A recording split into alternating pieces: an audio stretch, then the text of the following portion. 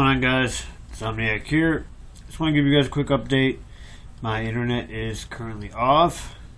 So I'm having to resort to my phone here to do vlogs. Which it's alright. My internet's only off because I instead of paying my bill I had to take the money and put it as a down payment onto a vehicle. Or a partial down payment.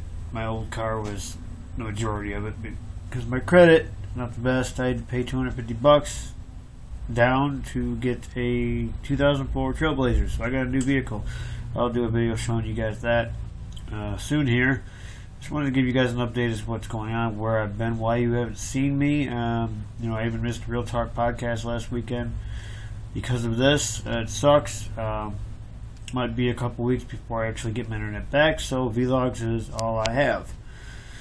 But uh, it will be back on.